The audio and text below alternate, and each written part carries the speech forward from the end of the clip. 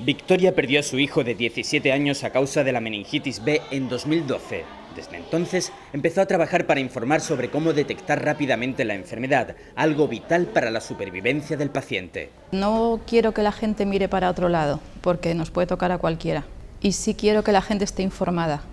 La Fundación Irene Mejías, que ella preside en Sevilla, promueve campañas en centros públicos como esta para detectar los síntomas.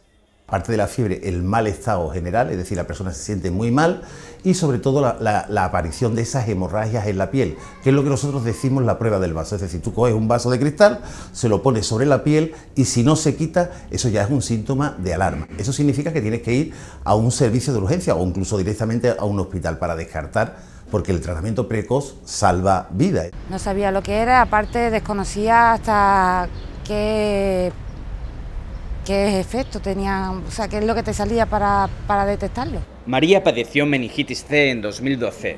Sobrevivió por la rápida reacción de su madre al ver las características manchas. Al recuperarse, colabora en la difusión pública de un mensaje tienen que poner remedio lo antes posible y si no están vacunados que lo vacunen. Me dijeron la meningitis, pero si eso no existe, digo, ¿cómo que no existe? No solo no existe, sino que mata a gente.